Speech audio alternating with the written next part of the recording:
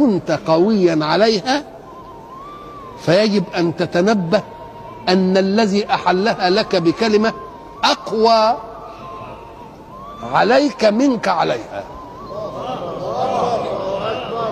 ده ده تهديد.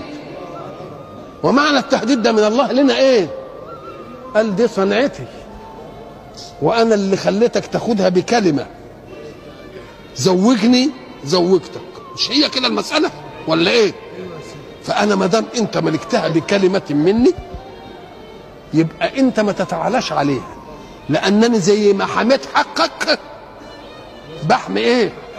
لأن ما فيش واحد منكم أولى بي من الآخر. لأن كنتوا الاثنين صنعتي وأنا عايز الأمور إيه؟ تستقيم